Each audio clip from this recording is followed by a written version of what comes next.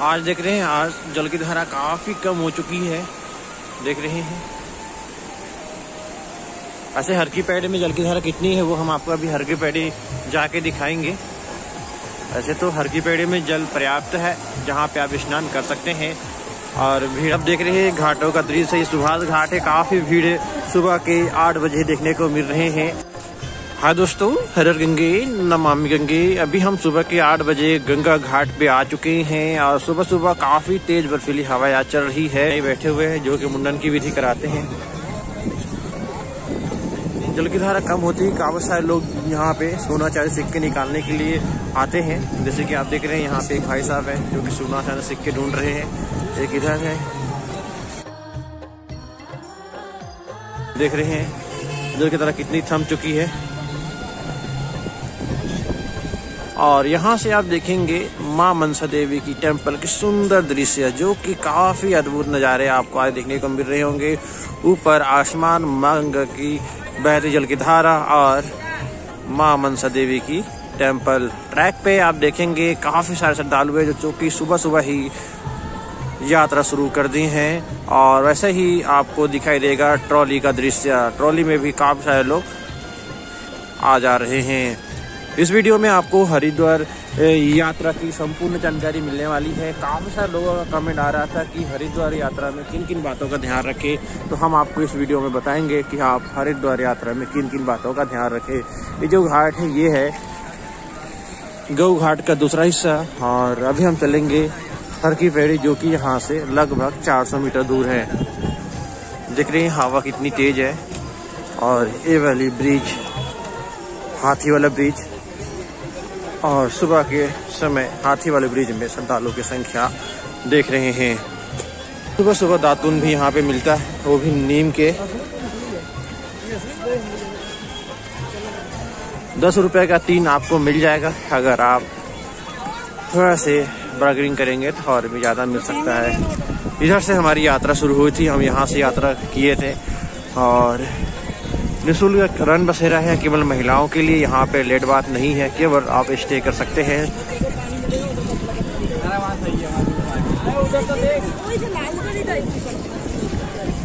देख रहे हैं सुबह सुबह श्रद्धालु की संख्या जो कि गंगा घाटों में प्रवेश कर रही है। हवा तेज चल रही है और साथ में भीड़ भी आप देख रहे हैं। ये है पंडित दीनदयाल उपाध्याय की पार्किंग इधर ही है। और यहाँ से ये है उषा घाट यहाँ पे अष्टी विसर्जन मुंडन की विधि किया जाता है। मोती बाज़ार से होके जाएँगे इस मार्ग की ओर आप। यहाँ से आप दो घाटों का दृश्य देखेंगे। माँ गंगा के बहरी जल की धारा और इधर है शिव घाट और इधर है सुभाष घाट। ये आप पूरे देख रहे हैं। काफ़ी श्रद्धालु जो कि डुबकी लगा रहे हैं।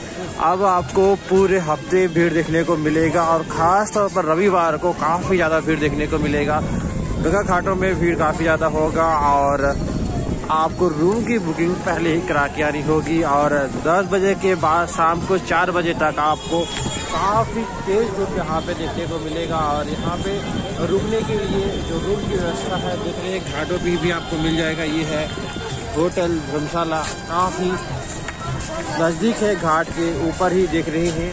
मांगर के बैजल की धारा और यहाँ पे लोग आ जा रहे हैं और ये है होटल, धर्मशाला। और सबसे अच्छा घाट अगर छाँव की दृष्टि से देखा जाए तो ये है जो कि शिव घाट है और यहाँ पे आप आराम से बैठ के कुछ देर विश्राम कर सकते हैं। चलते हैं यहाँ से, हर की पैड़ी लगभग 300 मीटर दूर है।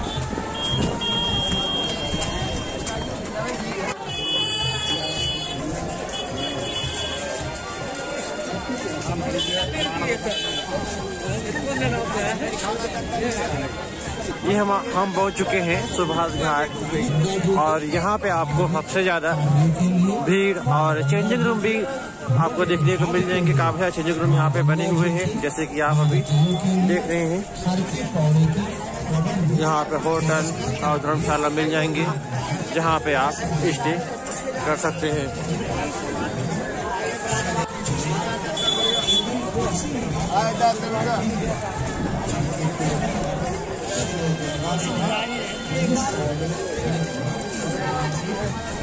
ये होटल धर्मशाला जो कि घाट के ऊपर ही है।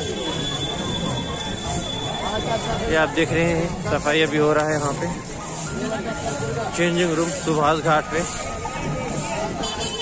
बने हुए ये है इस सुभाष घाट में छाव का अगर आप कहें तो वट का वृक्ष जो भी काफ़ी पुराना है वट का वृक्ष है।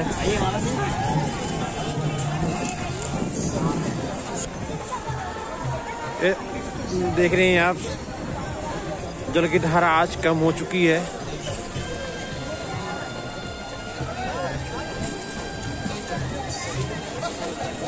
गहरे जल में जाके स्नान ना करें लेकिन आज जल की धारा कम है।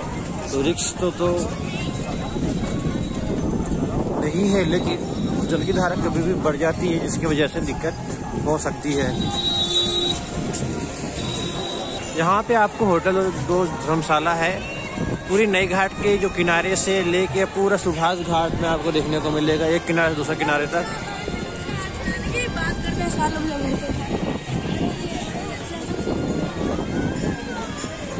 देख रहे हैं।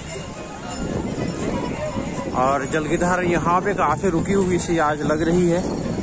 हर की पैड़ी में भीड़ काफ़ी ज़्यादा होता है, ऐसे जल की धारा को रोका तभी जाता है जब भीड़ ज़्यादा हो। और अभी देखते हैं हर की पैड़ी में क्या सिचुएशन, क्या दृश्य देखने को मिल रहा है। देख रहे हैं यहाँ पे नदी पेड़ी में जल पर्याप्त है, जहाँ पे आप स्नान कर सकते हैं। और भीड़ आप देख रहे हैं, पूरे घाटों पे देखने को मिलेगा।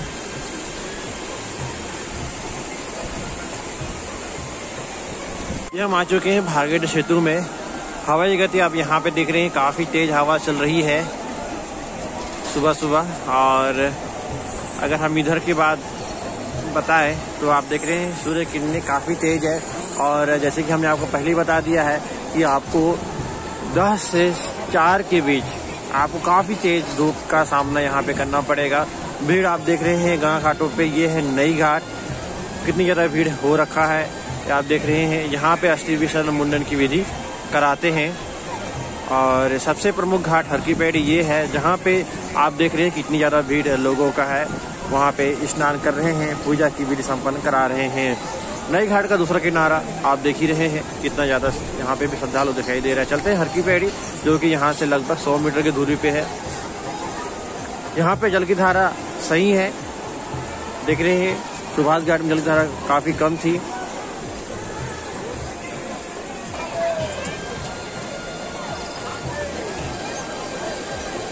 यहाँ पे जल की धारा आपको काफ़ी तेज देखने को मिलता है, ये नई घाट है।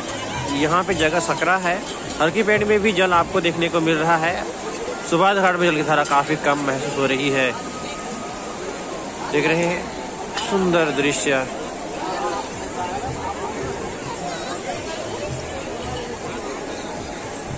हम यहाँ पे थे, यहाँ से आपको दृश्य दिखा रहे थे। चारों ओर का दृश्य दिखाएँ तो कुछ इस तरह का दृश्य देखने को मिल रहा है। भीड़ तो आपको पूरे घाटों में और पूरे हफ़्ता देखने को मिलेगा। रूम की बुकिंग कोशिश करें एडवांस कर ले। अगर हर की पैड़ी के आसपास आपको रुकना है, क्योंकि तो हर की पैड़ी के आसपास रूम सबसे पहले बुक होते हैं। जो पहले आएगा, वो पहले पाएगा। इस तरह का जो रूल है, वो होता है। और काफ़ी सारे लोग ऑनलाइन बुकिंग करा के आते हैं। तो आप ये ज़रूर ध्यान रखें। उम्मीद है वीडियो आपको अच्छी लगी होगी। अगर अच्छी लगी तो लाइक शेयर ज़रूर करें। फिर मिलते हैं एक नए वीडियो में। हर गंगे, नमामि गंगे।